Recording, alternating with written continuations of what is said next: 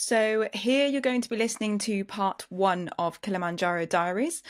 Now, I've had to split the podcast into two parts because it was just so jam packed with solid gold content.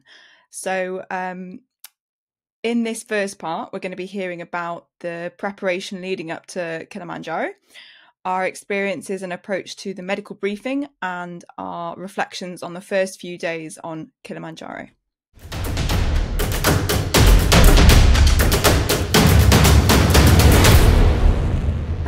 And welcome to the World Extreme Medicine podcast. I'm your host for today, Dr. Ffyon Davies, expedition medic and emergency medicine doctor.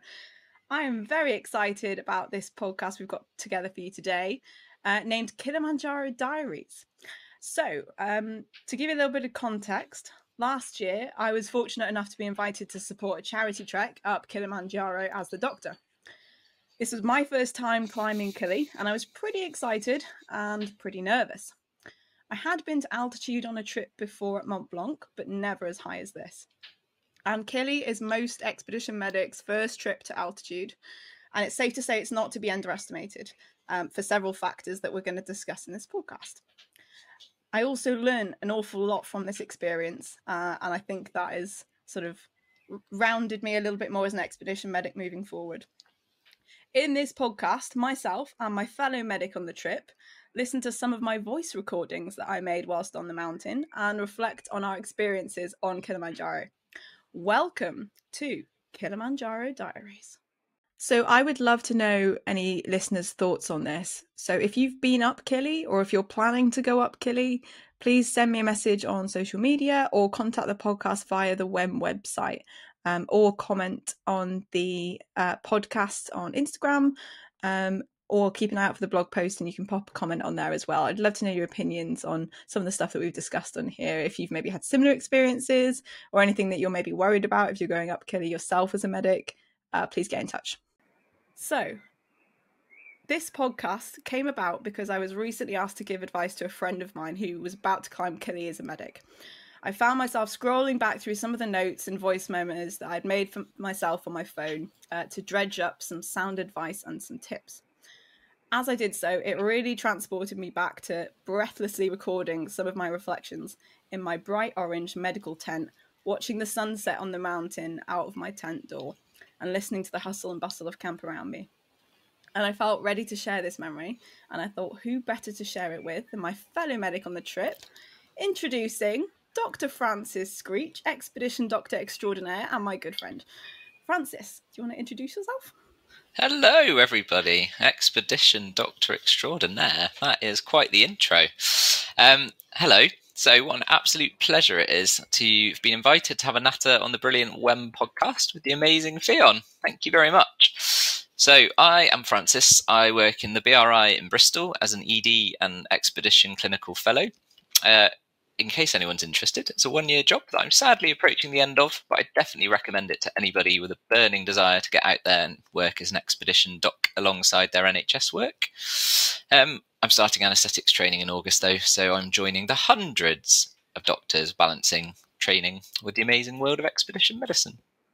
Um, so I'm hoping through this podcast, I found that there isn't loads of information available for the aspiring Kili doctor. So I think this series and this podcast will give a realistic insight into the trip for us uh, from the perspective of two doctors who I think at the same time had our first experience of altitude medicine. So, Ffyon, first of all, do you want to explain why you're recording recording voice memos in your tent on your own, like a bit of a weirdo? Yeah, well, I definitely felt like a weirdo doing it, but it's turned out to be quite a useful thing to do. Um, so, firstly, I'm a really lazy journaler, and I know a lot of expedition medics like to keep a journal on expedition as a sort of um, mental health kind of outlet. Um, but carrying pen and paper seems like extra weight and a bit of a hassle to me. So um, I started recording these little voice memos at the end of the day, kind of reflecting on the day and it was my way of kind of coping with some stresses and kind of offloading rather than writing it down in a journal. Um, it can be really arduous on an expedition and sometimes quite lonely as the medic, and you may not have anyone else to talk to about some of the sort of medical stresses. So it's important to have some coping mechanisms and a sort of mental toolbox that you can use that are going to be practical on expedition. Um, so I found it really helpful, and then it's really nice to be able to look back on the recordings and kind of remember what I was feeling and thinking at the time when I was sort of cozied up in my sleeping bag, reflecting on the day. How about you? Have you got any other coping mechanisms you like to go with? That's so wholesome. I love it. Um, so I definitely, I am a reflector. I definitely lie in bed, and I love that bit of expedition. You take yourself through the day and sort of think, yeah, through everything that's happened, good and bad. Um, but I don't actually record my musings anywhere. Maybe I should. I feel like that's quite a productive and useful thing to do. But um, in terms of relaxation, until I started this kind of expedition journey, I always considered myself to be super sociable. Um, but I don't know, that's sort of waned, I think. Since working on the longer ones, I've definitely realized that I um, I perform best if I've had at least some time on my own. Um, so during Kili, uh, we were usually camped at different spots, weren't we? But uh, I used to grab a cup of tea when we got to camp, when everyone used to sit down, and I'd sit with them for a bit, but then I'd go and yeah, take my tea back to my tent, and it was often under the guise of running an evening clinic, which obviously I did do as well. But if nobody appeared, uh, then I'd sit there, read a book for an hour, and just have a bit of time away from the group before dinner. Um, I used to think, well, it always surprises me or surprised me. You just have to be on all the time as the expedition doc, don't you? And I find that um, you know supremely fun, but it is also one of the most ex- exhausting bits of expedition medicine for me because uh, I think a huge role as the doc is needing to be uh, full of energy and really motivating, and I can do that and I enjoy it but I do definitely need a bit of time on my own to recharge to actually be able to do that um, and do it kind of justice. And I think it works. If I have that time, I've, a few people have said to me, "Why doesn't the altitude affect you?" Or like, "Why are you so full of energy?" And you might be dying inside, but you're actually full of bounce and life. And I think, yeah, just a bit of time on my own and that conscious effort. And I know that about myself now, so I take myself off for some me time. You definitely gave one reason. Any other reasons? Uh, Are you so blog sec- so second reason for recording voice memos in my own or on my own in my tent. Um, it sounds really weird when you say it out loud, but I promise it's not as weird as it sounds. You're going to find out anyway because you're going to hear the memos.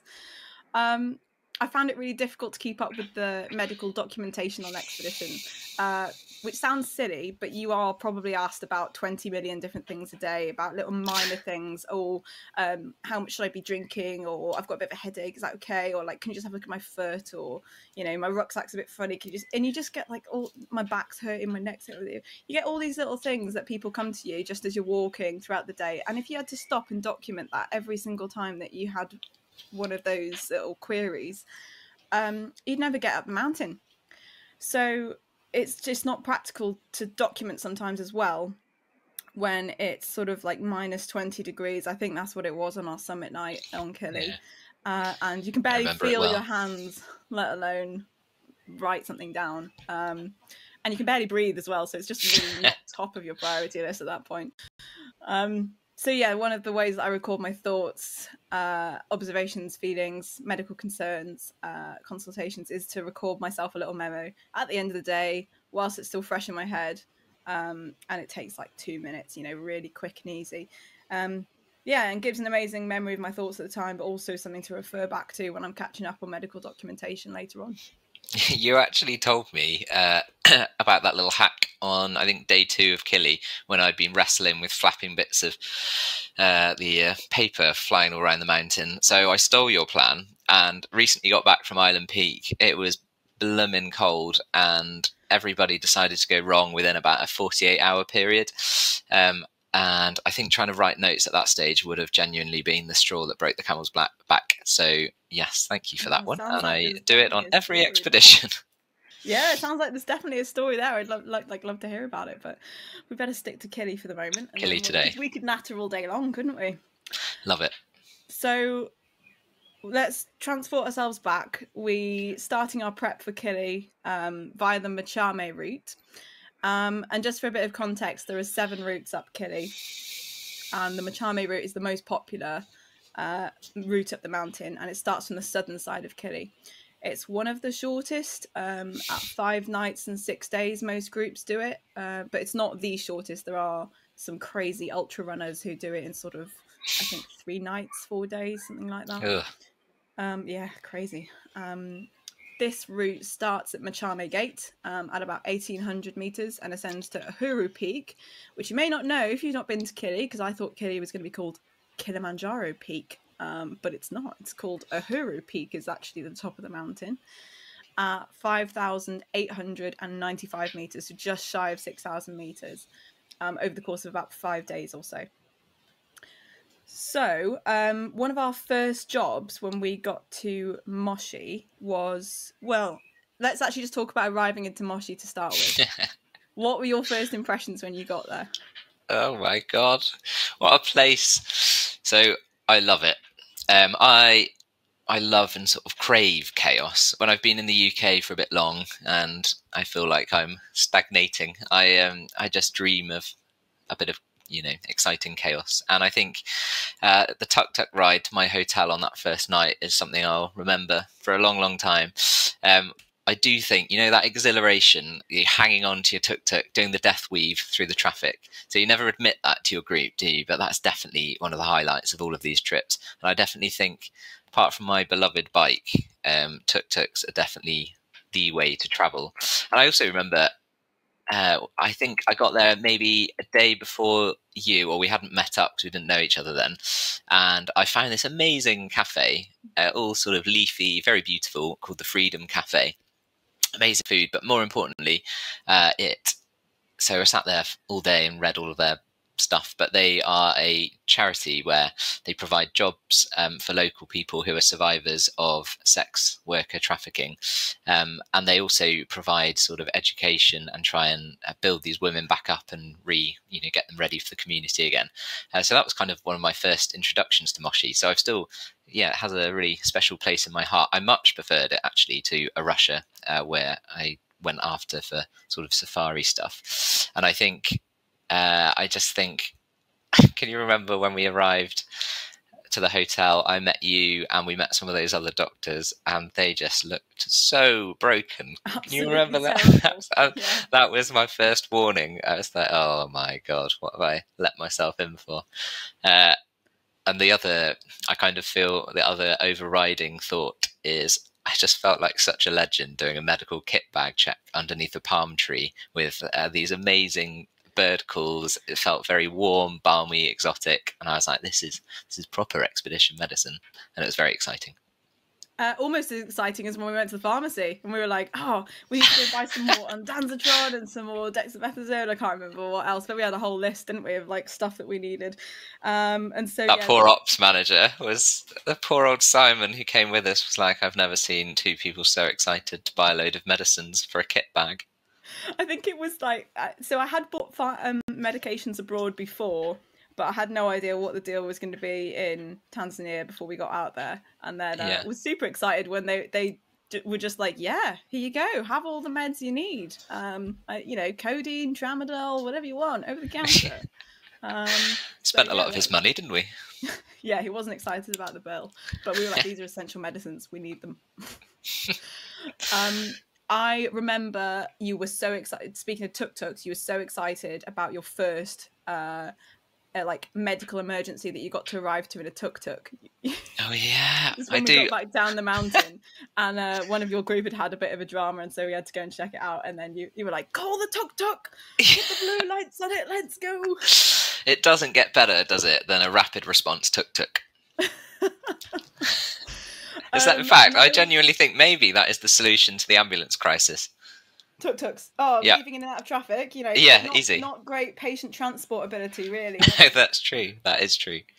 Um, I remember my also for one of my first impressions of Moshi was near death experience in a vehicle, and I was I just got off the, the, plane. You have to take two planes to get to Moshi. I did anyway, and then um, somebody met me at the airport, and it was in this like van where like the seatbelts didn't work, and like yeah, and and the windows didn't roll up fully or something, and then I'm pretty exhausted at this point. I've been traveling for like nearly 18 hours or something to get here.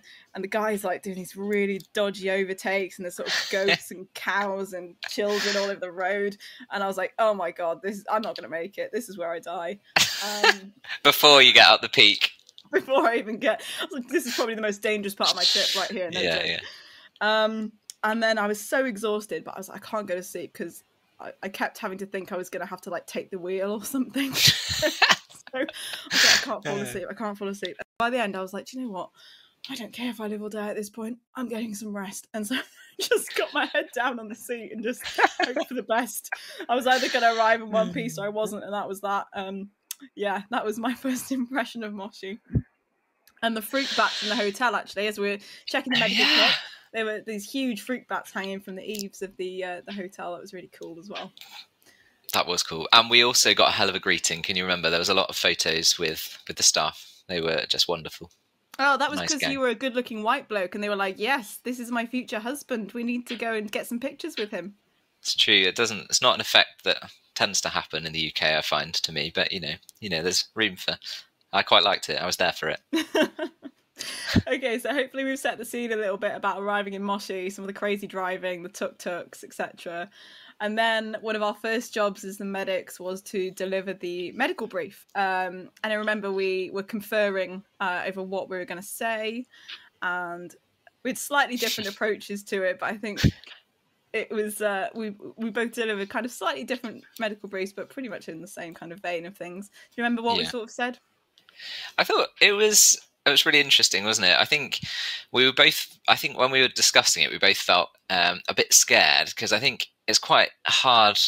I think it's quite a hard one that initial brief to deliver well um, and to pitch at the right level. I think they're quite rightly super excited, keen to get going, uh, but they're also tired, jet lagged, nervous, um, and then I think from my point of view, it was really important to, well, and yours too, to introduce all those important topics of hydration, nutrition, blisters, hotspots. And then I think we were both quite excited uh, about talking about the sexy stuff like altitude illness.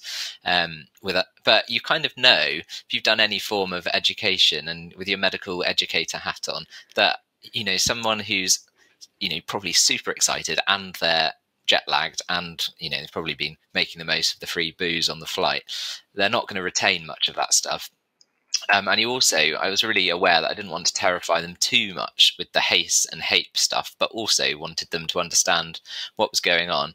Um, so i found i did do as you did a pretty comprehensive brief but then ended up repeating lots of it um, almost every night. Um, not you know all as one but various segments as they became relevant um, i'd repeat during our kind of evening briefing after dinner.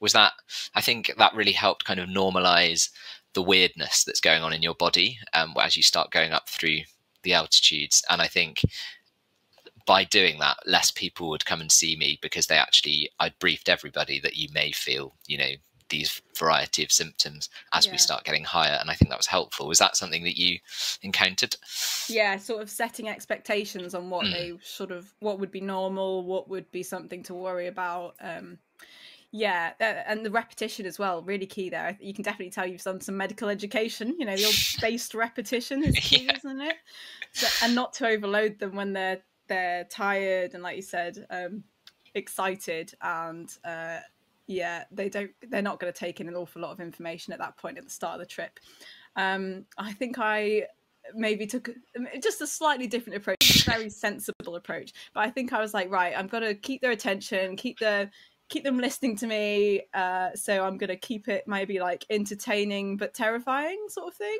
Mm. in order I to- do remember death came up in yours, and it didn't come up, and it didn't come up in mine. But yeah, I think fairly early on, I was like, people die on this mountain. You need to listen to me so that that doesn't happen to you. I've actually got a little quote from my. This is what I finished my medical briefing with. Um, I'm not sure I would word it quite like this now, but um, I think it, it was effective anyway. So I finished with This is a challenge. This will be the hardest thing you've ever done, and no amount of words can describe how much you will suffer. It's a strong start, I know. Um, you will you will have a headache. All of your muscles and joints will ache. You will be unimaginably fatigued, and you probably won't sleep well. Your body will be suffering and not operating at hundred percent. Uh, near the summit, the oxygen level will be less than half of what's available at sea level. All of this will make you feel like shit. And there's not much I can do about that. It's part of the challenge. Embrace the suffering.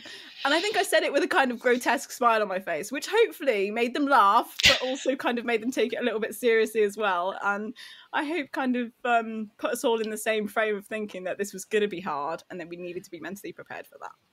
And I think even though I'm sort of giggling at how harsh that is, I think we noticed uh, the different expectations of our two groups as we went up with our different approaches, didn't we? And I think, um, yeah, possibly I needed to be a bit harsher.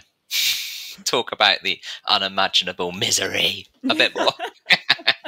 and how I can't really do much about it. That's that's part of the yeah. That was the key. That was the key. Whereas mine thought I had a lot of options. Um, and you've only got you know a small medical bag. You've not got all. You can't solve every single problem that they come to you with. So yeah, it's about setting those expectations. But also, I was worried that I was going to make myself seem unapproachable and like a bit of a kind of mean, hardcore medic. Um, I definitely. Oh, they loved you. They loved you. I went for the hardcore briefing approach, but I think I finished it off with right at the end. Um, I want you to come and tell me your best altitude joke as we're going up the mountain. And I love all things plants and animals, so please come and tell me about them, just to you know lighten the mood at the end there. I feel like yours got involved with some singing as well. That definitely lightens the mood. Yeah, there was some singing, definitely. They're all a bit stunned, but um, I did want them to be properly prepared for how hard this was going to be. Um, yeah. And uh, just look, I'm in the process of writing a blog post for uh, med- my medical briefing for Kili and kind of stuff that I included because we could definitely talk for probably about an hour about all the different stuff that we wanted to go through within the medical briefing. Um, so keep an eye out for when that's published. A little bit more detail I, there.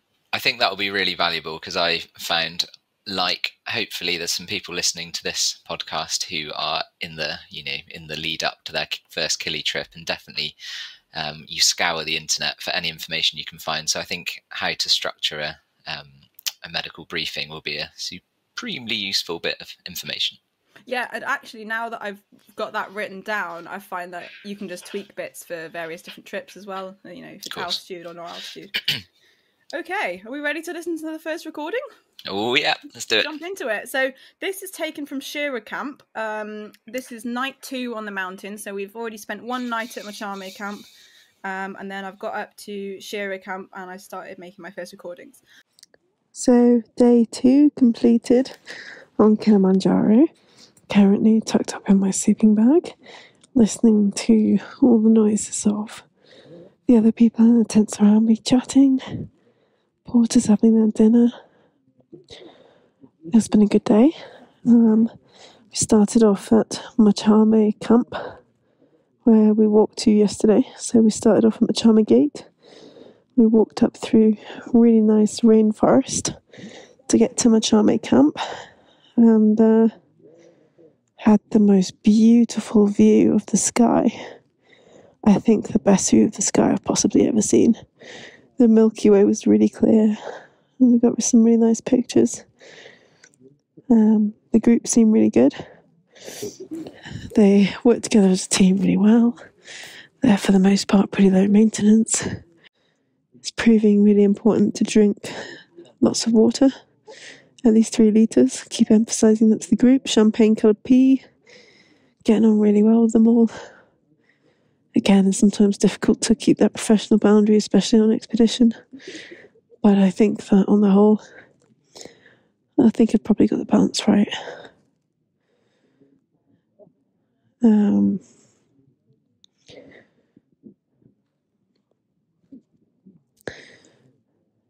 yeah, I think uh, we did, all did our sats at camp today. Ah, today was a really good day. A little bit more technical, a little bit more scrambling, some like rock kind of rocky path with difficult footing at times, which is kind of interesting. And we were coming up through pine forest, which is really nice, with the most amazing Spanish moss I've ever seen in my life. Um, so much of it and so long. So I bored everybody about moss facts, obviously.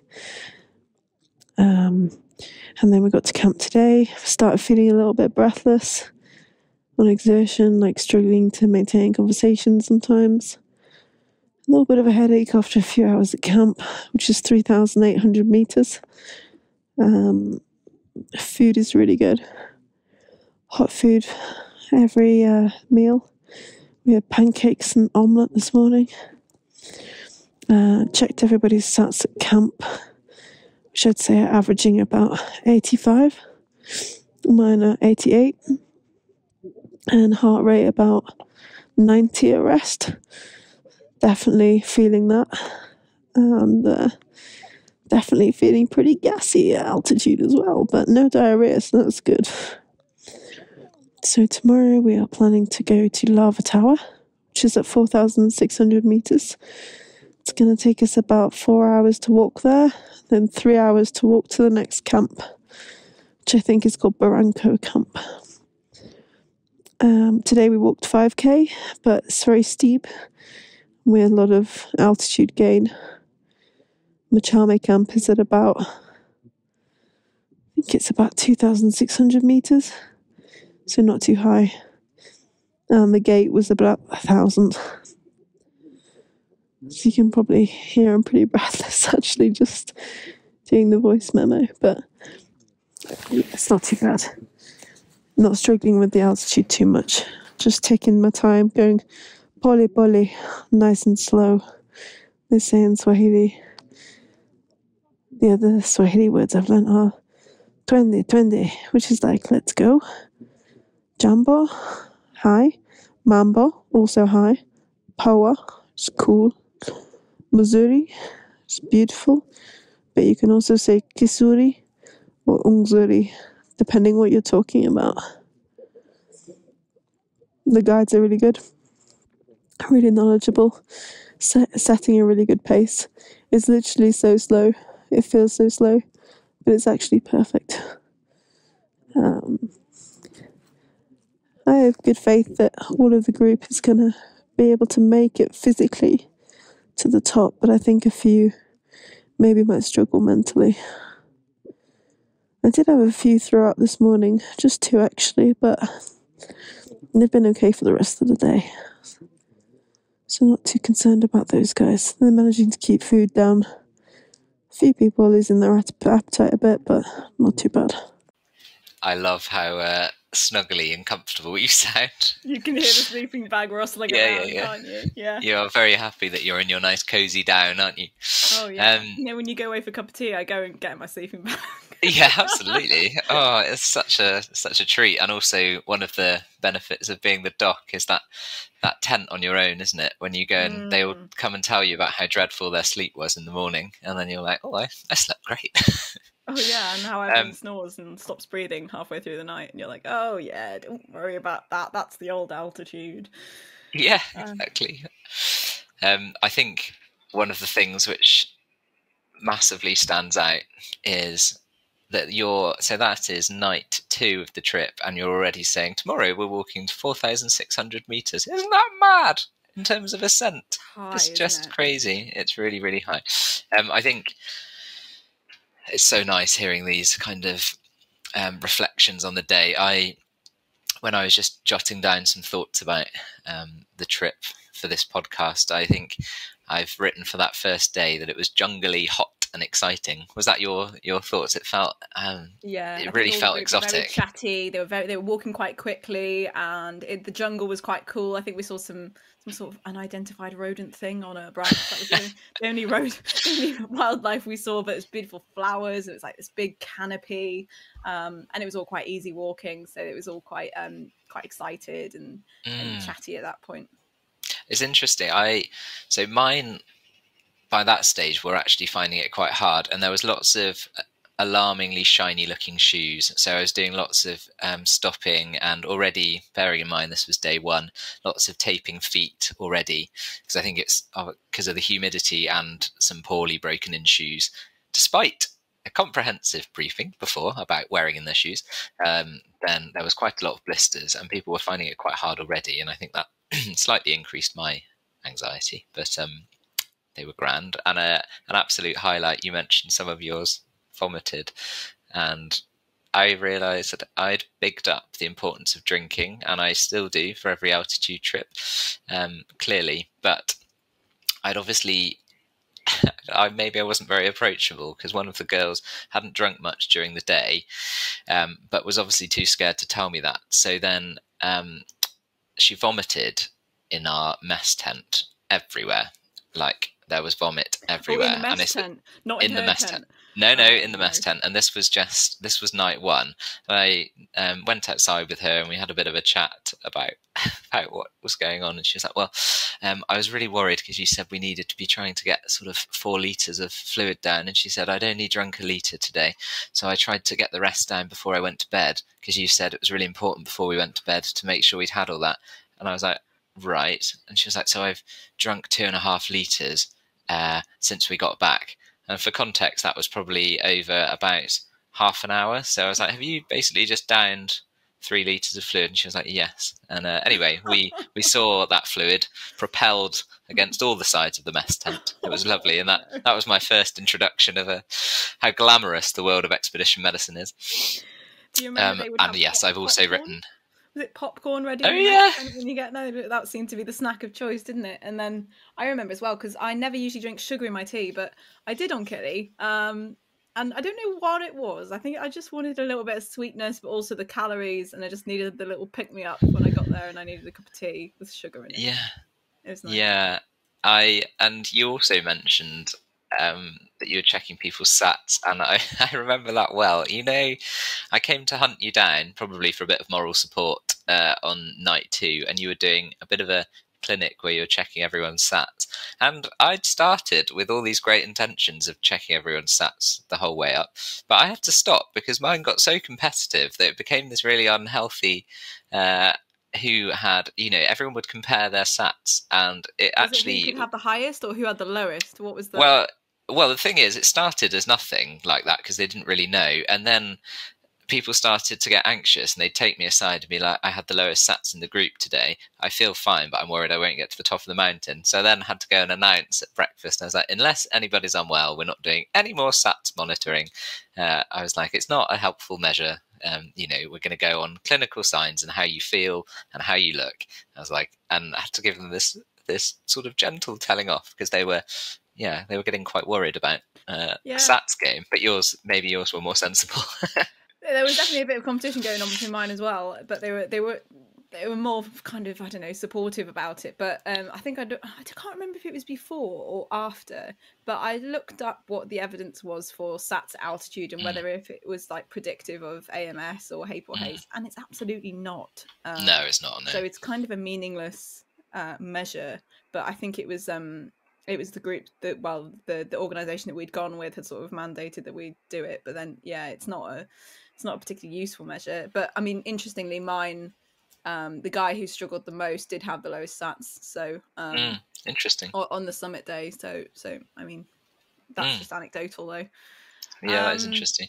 I um, I also feel like I've I've already painted a you know less than perfect view of my group, and they were they were absolutely amazing. Um, and I did actually find it really humbling seeing uh, when they were a group of people from the same organisation with a few randoms added into, and I find it really humbling that after even day one or whatever, they'd be encouraging each other to drink. They'd be checking in on each other, even though that's you know we we suggested they buddied up and helped each other out. But hearing them sort of sharing sweets for energy, uh, even sharing painkillers and things, it's all quite kind of I don't know. It was a nice side of humanity to witness. I thought. Yeah, yeah, it is nice, isn't it? When yeah, I think I say in, in there, don't I, that I, I had a good group and they're all sort of bonding and looking after each other. Um, so mine was sort of uh, kind of a little bit younger than yours, I think, on Mm. the whole. Uh, I think the oldest participant I had was maybe just thirty five or something like that. Um, Yeah. um, and they were they didn't all know each other, but they had had quite a few meetups prior to climbing Kili. Mm. Um, yeah, and they they were a good group, but then I like I said, I struggled because they were sort of mostly the same age as me, and so it's kind of quite hard to um, Yeah. sometimes keep the professional boundary in terms of like I'm the doctor. Uh, you know, you need to sort of um, respect that, but also Of. I'm also doing this with you, and I'm climbing the Mm. mountain with you, and I'm your teammate, sort of thing. Um, Mm, it's quite hard to sort of course. strike that balance sometimes, isn't it? It really is. And another really important reflection on your voice note there is the food. I've also written pancakes, fresh fruit. Is that not mad on the side of a mountain? It blew me away. Absolutely crazy. Couldn't believe it. I was like, right, this is great. I'm getting involved in this. Yeah, there was And often uh, you have to like your carbs, don't you? And luckily, that is not an issue. I loved it. Yeah, and I so I think I had two people who'd come to me and said, "Oh, you know, we we've been a bit sick this morning on Mm. um after the first night," and I was sort of like, "Okay, well, did you have your breakfast? Yeah. Did you keep it down? Yeah. Okay, like let's let's keep an Mm. eye on this and see how it goes." Um, and then I think the other thing from that first camp I remember was the night sky. Oh my god, wasn't it like truly stunning, wasn't it? Go on, describe it. What did we see? Well, we saw the Milky Way. We Yeah. there was a sudden, a sudden kind of exodus from the mess tent as everyone went and got there. Uh, I'm ashamed to say I've got my mum's old Android, but people with good iPhones were taking some insane astrophotography, weren't they? Yeah, you could do a little long exposure on your Yeah. iPhone, uh, which meant that you really got the, the stars and the Milky Way kind of showing up really amazingly. Yeah. I used to have to go and uh, get them all to, you know, uh, WhatsApp me their exciting things so that I could pretend it was my own before I put it on Instagram. yeah, rather rather than my really dull attempts at it. Um, I also remember having one of those moments at Shira Camp where it was we got there and it was quite windy, wasn't it? But then I just remember you see the sunset and the you have Meru Peak in the background. Can you remember that? And I just remember sitting on a rock, uh, watching the sunset with yeah, obviously the Serengeti. And I was like, "This is about as exotic as it gets. This is Oh, it was incredible." beautiful. Yeah, the sunset was amazing. You had this big like because isn't Shira Cave camp is kind of on a bit of a plateau, isn't it? And, Yeah. and you, you kind of have quite a steep climb to get up there, and then it kind of plateaus out, but you're above the cloud level. I remember Exactly. you had the, all this like layer of cloud laid out behind you with this one lonely mountain poking up through it, and that's one of the other cool things about Kili is that it's the it's the highest. Uh, what do they call it? Highest Volca- volcano. Um like stands alone. Oh, stand alone. Yeah, yeah, of course. it doesn't have it's not part of a range it's just Mm. a volcano in the middle of nowhere with no mountains around it it's kind of it kind of means you don't get that much scenery but actually that night was was really cool and we had that one Mm. other mountain that we saw yeah Yeah. sunset um Pretty special, hey. yeah i mentioned in i mentioned in there i had somebody break a tooth at the gate and i was like Yeah. i hope this is Yeah, that's a, that's a disaster. the rest of my trip. Yeah, she she had a filling and um, it just broke straight down the filling. Um, Oh no, we don't have a dental kit. Did I remember that medical kit didn't have a dental thing? No. We did not have a dental kit. No, big mistake. Um, Mm. I don't think I was going to do a lot with it anyway. I sort of said just right, keep it clean. You know, brush your teeth really well, which is another thing that people don't do on expedition because they don't like to go outside when it's cold, or they don't like to like walk unnecessarily to go and find a spot to brush your teeth, or um, I don't know. But you you caning the snacks and the sugary things and the Mm. electrolytes and all this and all this is Yeah. bad for your teeth. So it's super important to actually maintain good dental hygiene. Yeah, of course. Um, yeah, so I think I just advised her to keep it as clean as she could, and then she wasn't in actually a lot of pain with it, so I wasn't kind of super concerned at that point. Um, and yeah, she she carried on fine. Mm. Ouch. Um, I think, and I'm- I mentioned I bored everyone with moss facts uh, as we Oh, were coming up. So we've already mentioned. So the first day you do kind of jungle rainforest type habitat. Uh, and then the second day is sort of moorland uh, with lots of moss hanging off the trees and kind of shrubby, shrubby trees, aren't they? And then at the end of that second day, we had a little bit of a scrambly bit at the end, which was a little bit more fun, a little bit more technical. Um, Mm. And then that carries on up the mountain. So it's, this is a fun fact to tell your groups. Actually, I remember the guides telling us that you've got these five different habitats all with on Yeah. Kili. Um, so I love that yeah. journey through the different habitats. It's you really I found I really missed the kind of variety when you start getting to the um the scree scrub that you're on for a few days. I really missed that. You know, you just like show me a tree. I know. Gets really dull after a while. Yeah. yeah. And I'd run out of. I didn't have any more rock facts. I had loads of moss facts, but I didn't have any rock facts. So uh, the, group, the group were probably quite relieved by that. But um, Yeah, and then I had this conundrum about the, you know, if you've got somebody who's a little bit slower than everybody else, do you sort of try and Mm. stay at the back and do you sort of, you know, kind of try and support them? But then the majority of the people are up ahead. So, you know, where do you sort of base yourself? I think I've subsequently now started walking more at the back uh, for Mm. most of the first few days to get an idea of who is struggling, who needs more help, and why are they struggling? Are they struggling mentally or are they struggling physically? Um, Yeah. I think there is a difference in the approach to it. I ended Um, up in the same place. Yeah, I think um, at least you know you're going to come across everybody, don't you? Otherwise, you're if you're at the front, then you can have some stragglers who, by the end of you know half a day's walking, are a long, long way from the group. So yes, I and I think I'd recommend staying at the back as well. Yeah, for the most part. And then um, you can hear how breathless I am in that Mm. recording as well, can't you? Yeah, absolutely. And I think a thing I've learned from a friend recently who actually did get HAPE on a Kili trip is he was repeatedly, because of different needs from different people in the group, he was running, well, walking fast between the front bit of the group and the back bit of the group for quite a lot of the trip. And obviously, we know that sort of exertion at that um, altitude can be a trigger for HAPE. So I think it's quite important to, as the medic, not even though you might want to be sort of running around all over the place, making sure you're pacing yourself. I think that's something that um, I try to do now. Yeah, and actually, if somebody gets on well at the front, then they can kind of step off the path and wait Mm. for you to get to them if you're at the back, Exactly. rather than Yeah. you sort of running up the mountain to them. Which obviously you, you can hear how breathless I am. Yeah. It's not going to happen. I was not going to be running anywhere. Nah, you'd have Um, it. You got complete faith. I, I remember there was a at Shira Camp there was a toilet that was up a hill. I was like, I I couldn't leave it until I was desperate to go to the toilet because there was no way that I was sprinting up this hill to get to the toilet. So I was like, right, I'm gonna go to the toilet. This could be a while, you know. I'll just be five minutes as I get up this hill. Mm. right. So um, should we go on to the next one? So I've mentioned there. I think we should. we're at Shira Camp. Oh, the other thing I wanted to ask you about Shira Camp is you actually saw the cave. Oh, the cave! I'd forgotten about the cave. That was amazing, and our amazing guides. No, they took us over there. That was a bit of a, a lackluster response because everyone was tired. But a few of us went to the cave with the guides, and they said, um, well, they explained that that's where the um, the local people would have sort of sheltered and um, had a fire, and where they'd have sort of told stories on the early trips up Kilimanjaro. Um, and it was yeah, it was amazing. It was a, a proper cave, and again, there was an incredible sunset outside. So I just remember it felt like one of those pretty special, quite exotic moments.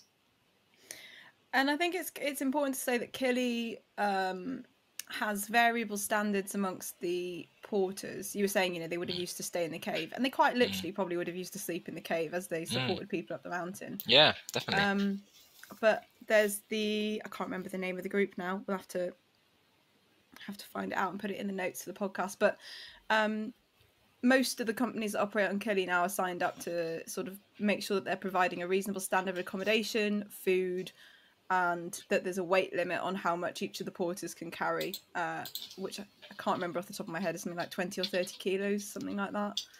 yeah, I um, thought yeah, I thought it was actually fifteen, but Oh, maybe it's less. I can't than that. remember. Yeah. Um, Uh, but they were. It was managed. It was well managed, after. and it had good pay. and it was strict, wasn't it? When you went in, it was measured, yes, which was Yeah, really yeah. good. So, wet the gate. um, and it was. I just had a quick search, and it's the the name we'd forgotten is uh, the Kilimanjaro Porters Assistance Project, KPAP, apparently.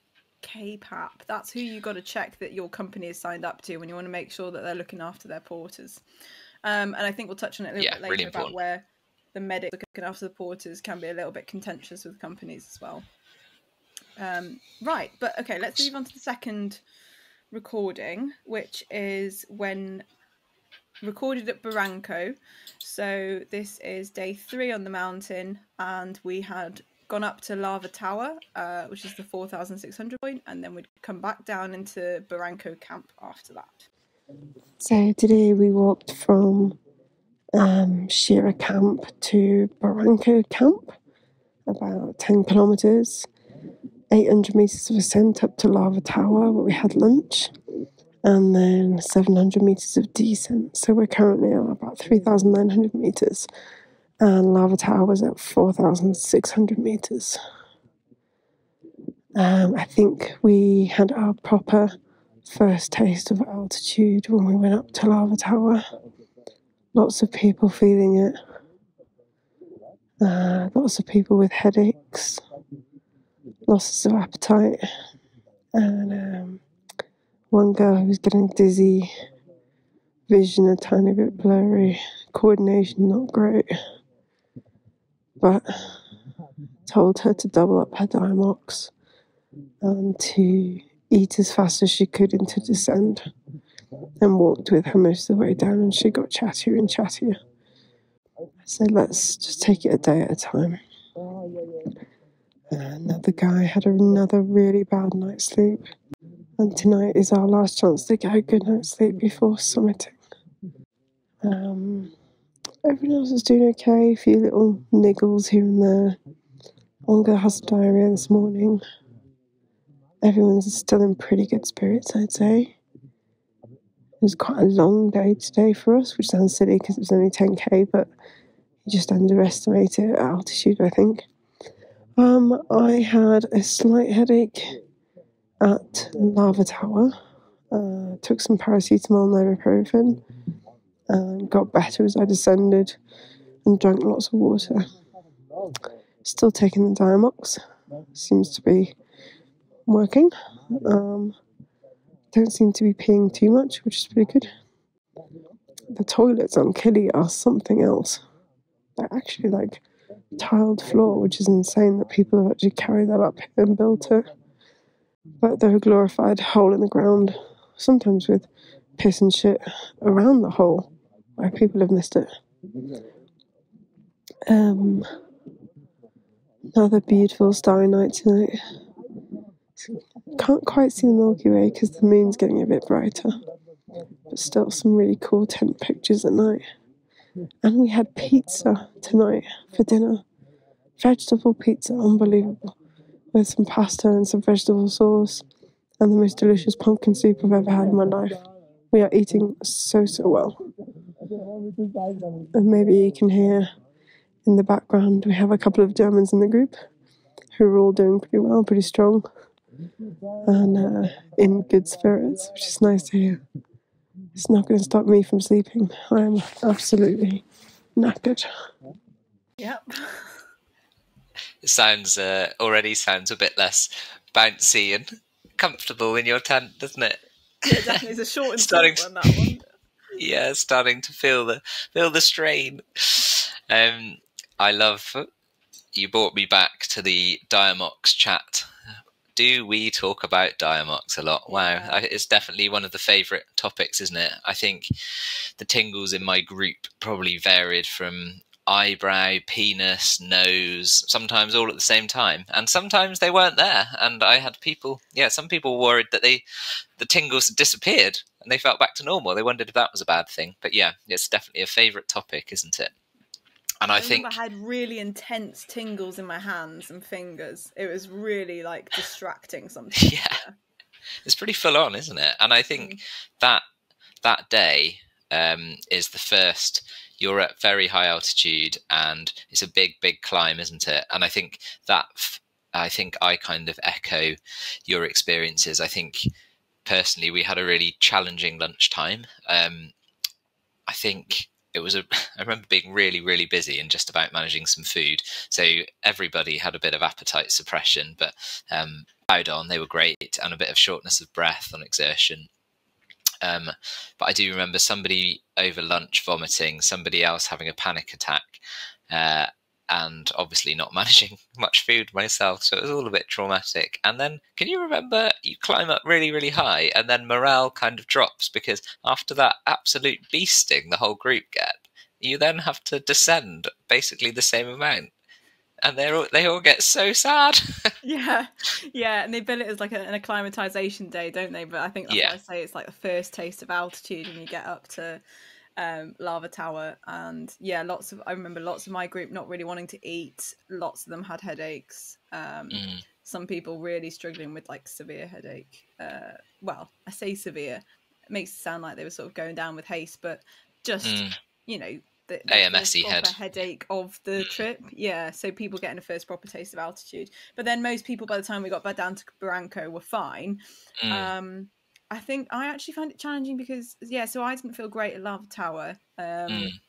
And then when we were going down, I had to sort of um, coach one of the girls down. She was very just quite slow, struggling a Mm. little bit. Um, but I It was quite a long sort of you slow. needed quite yeah and you needed good uh, good balance and to be someone if you weren't someone that did a lot of walking i remember it was a long descent over quite bouldery fields wasn't Mm. it I I Um, think on the knees and, and on the legs, it's harder to go slower on the downhill for me personally. I think it, I find it Mm. almost more tiring, and you're out for longer. You're sort of in the sun for longer, and yeah, the weather on Kili. It, so I think we were probably very lucky, but we had beautiful weather every single day. Um, clear skies, sunny, probably twenty to twenty-five degrees maybe Mm. Yeah. um, in the daytime. So we're all sun creamed up, wearing hats and sunglasses, but then obviously very cold at night. Just loses the heat really, really Mm. Um, so yeah, I was sort of out for quite a long time that day, so I think that's probably why I was a bit knackered. your nod towards the pizza i know we can't talk on the wem podcast too much about food but pizza halfway up kilimanjaro and it was really good as well It was really good. That is exactly what I needed. I needed to be told that at Lava Tower that there was pizza at the bottom. yeah yeah absolutely of course and i uh i think it was either here or the night before where we all discovered milo in a big way. So milo's that powdered hot chocolate stuff and uh my like group found it Nescafe rip-off, isn't it? yeah it is. And it was like my group discovered it in a big way. I mean by the end we were everyone was demanding milo more than anything else. I think probably if there was sort of a randomized controlled trial i think they'd find milo to be more addictive than crack probably. They were all hooked. But um yeah like yours i think lots of people were getting uh, headaches a bit of diarrhea nausea they were also um, getting a bit of the cough um, i did encourage buff wearing but it, you know they're not pleasant to wear are they so a few Yeah. people were starting to get a cough You don't mean like a HAPE cough, do you? You mean like a no dust cough? sorry dusty cough yeah Mm. yeah feeling otherwise well but um, just a cough from the dust um, and then people did start wearing their buffs a bit more religiously but i'm i've become a bit more strict on my um on the buff wearing now because i i see what you know, quite how damaging um the dust and the early days can be Yeah, definitely. Um, and then we've mentioned again like sleep. Uh, so people start sleeping poorly at altitude, and then that kind of has a knock-on effect of morale, energy, Mm. fatigue. Which um, we I think we were advised to use the Lake Louise score by our, our organization, but you Mm. ask everybody if they're fatigued, they're like, yeah. yeah It's like, have you got sleep disturbance? Yes. Do you feel breathless? Yes. Do you have a headache? Yes. It's like, oh well, this is Yeah. not a very useful score then, is it? yeah let's send everyone down yeah yeah. Um, yeah, no, I completely agree. I think yeah, it's much more a sort of clinical judgment, isn't it? Um, but I, I did think for my group, it was at this stage as well that I'm sure you had the same. They started to. Uh, there was a lot of questions about the summit night, and people were getting very focused by now because it's it suddenly looms, doesn't it? It feels like it's quite a long way away, and then suddenly, oh, it's tomorrow night. Essentially, it's mad. Oh yeah, it is, isn't it? They've only got one more day, and then it's the following Yeah. night. Yeah, yeah. Um, that used to cause because of the you know obviously technically it's a different day but actually they're only going to bed for three hours or two hours or Yeah. Yeah. I think I say that, don't they? That, that this is the last good chance for a Mm. good night's sleep within this reflection. yeah Um, yeah. Okay. Um, so then we had the next day, which actually I think was a bit of a highlight for us, wasn't it? It was um Yeah, quite fun we loved it going up the Barranco wall. Uh, oh if you've got a bit of an outdoorsy a bit of an outdoorsy bone in your body then definitely the barranco wall i think is a highlight a bit of a bit more technical and fun isn't it Yeah. Right. Okay. Let's hear about it. Let's see what I've got to say. uh, Barranco to Barafu camp. So we start in the morning nice and early, as always, 5.30 wake up, and we climb Barranco Wall. Just a really cool little scrambly bit. Um, lots of hands involved, lots of cool footwork, kind of polished rock in places, quite steep, quite vertical. And it was quite a challenge for people who had a problem with heights. Um, but they managed to do it. So really proud of everyone. And we had a really nice view at the top. We had to move super slow because it was so vertical. Um, and we were all struggling to catch our breath. We then had a little bit of up and down, kind of undulating ascent and descent across sort of alpine desert um, before we got to Karanga Camp, uh, which is where we had lunch. And normally in the seven day Machame route, you would stop at the Karanga camp and you would stay a night and acclimatise. We didn't do this. We carried on to Barafu Base Camp, uh, which is where we were going to start our summit night from. And I think in retrospect, that would have been quite nice to have a seven day route and to have a little bit more time to acclimatise. Um, the climb up to Karanga was quite steep. Um, it's quite a sort of 20 minute incline before you get up to Karanga, which is about 4,600, I think, in total. And that is where we're going to have to leave it for part one of Kilimanjaro Diaries, leaving it on a cliffhanger, like all good podcast hosts, to make sure that you tune into the next episode to hear what happened next on the mountain. Thanks for listening. See you next time. Thanks for listening to the episode please feel free to rate, review, and subscribe on whichever platform you're listening to.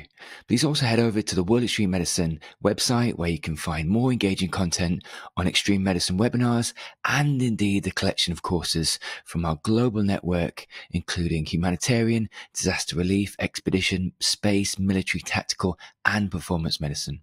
Thanks again.